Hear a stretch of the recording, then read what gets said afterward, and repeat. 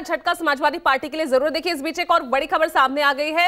राज्यसभा चुनाव को लेकर शिवपाल यादव, उनका भी बयान सामने आया है। शिवपाल यादव कह रहे हैं, चुनाव में बीजेपी ने खरीद फरोख्त की है। सीधे तौर पर शिवपाल यादव बड़ा आरोप लगा रहे हैं। लोकतंत्र की मर्यादाओं का उल्लंघन किया है।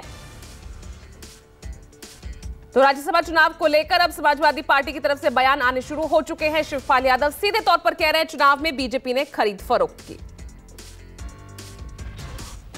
खरीद फरोख्त करिए। भारी लोकतंत्र की सभी मर्यादाओं का भारतीय जनता पार्टी ने उल्लंघन किया और देखिए, कुमार गौरव लगातार हमारे साथ बने हुए हैं दिल्ली से। कुमार गौरव, सीधे तौर पर बहुत स्पष्ट तौर पे सही कह रहे मानस कि ये जो पूरी स्ट्रेटेजी है, ये रणनीति है, ये पटकथा बहुत पहले लिखी जा चुकी थी जब संजय सेठ का नाम उजागर हुआ था, आठवें कैंडिडेट के तौर पर। देखिए देखिए, ज़ाहिर सी बात है, जब जितना आपका कोटा होता है राज्यसभा के के सांसदों की, उससे ज़्यादा अगर आप उम्मीदवार उतारते हैं तो इसका सीधा मैसेज है कि आपने कुछ गुणागरित बैठाया है विपक्ष में, विपक्ष के, या जो आपके सामने विरोधी पार्टी का है, उसके विधायकों को तोड़ने का आपका प्लान है। तो ज़ाहिर सी बात है उत्तर प्रदेश में आठवें उम्मीदवार के तौर पे संजय सेठ को उतार, उतारा गया। उस समय से ही स्थिति साफ़ थी कि आ, कुछ न कुछ कुछ न कुछ आ, क्रॉस वोटिंग होगी।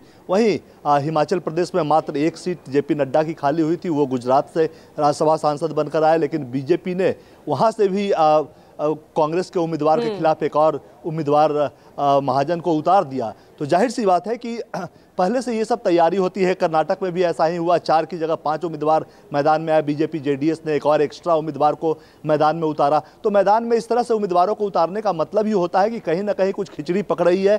कई जगहों पर आपको सफलता मिलती है। जैसे हिमाचल प्रदेश की भी बात आ रही है कि वहाँ भी क्रॉस वोटिंग हुई है। हम्म, अगर हम्म। कांग्रेस की सरकार रहते हुए अगर बीजेपी का कैंडिडेट जीत जाए या टैली चौंतीस चौंतीस अड़सठ उम्मीदवारों का सदन है अड़सठ विधायकों का सदन है चौंतीस चौंतीस हो जाए तो फिर स्थिति यह आती है कि आप आपकी सरकार के अंदर आपके जो आप, आपकी सरकार होने के बावजूद आपके विधायक आपके साथ नहीं है वो वो बीजेपी के साथ जा रहे हैं विपक्ष के साथ जा रहे हैं या समाजवादी पार्टी की बात देखिए वहाँ से भी विधायक क्रॉस वोटिंग कर रहे हैं तो ज़ाहिर सी बात है ये एक सवाल विपक्ष पे ज़रूर उठता है और 2024 से पहले जो लोकसभा चुनाव का ऐलान होना है उससे पहले इंडिया गठबंधन में जो भाग दौड़ मची थी जिस तरह आपने देखा जेडीयू अलग हुआ अजीत पवार अलग हुए उसी तरह से जमीनी स्तर पर जो दो मज़बूत दिख रहे थे स्तंभ पार्टी को कि उत्तर प्रदेश में समाजवादी पार्टी का एक अच्छा खासा जनाधार है तो उसको तोड़ो। उसको भी तोड़कर एक मैसेज दिया गया कि पार्टी में पार्टी कमज़ोर है उसके जो मुखिया हैं वो अपने विधायकों को नहीं संभाल पा रहे हैं। उसी तरह हिमाचल प्रदेश में क्रॉस वोटिंग हो रही है आ, हुई है और वहाँ भी एक मैसेज आएगा कि कांग्रेस वहाँ सरकार में है लेकिन विधायक मुख्यमंत्री या प्रदेश अध्यक्ष जो है या कांग्रेस आलाकमान जो है वो अपने विधायकों को नहीं संभाल पा रहा। कुल मिलाकर इस पूरे प्रायोजन के साथ गुणागरित पहले बैठाकर ही एक्स्ट्रा हम्म। उम्मीदवार उतारा गया और इसका मकसद सीधा 2024 का है कि विपक्ष के बारे में सीधा जनता में एक मैसेज जाए कि विपक्ष में एकजुटता नहीं है ना ही इंडिया गठबंधन के तौर पर एक एकजुटता थी क्योंकि कई सारे दल छोड़कर चले गए।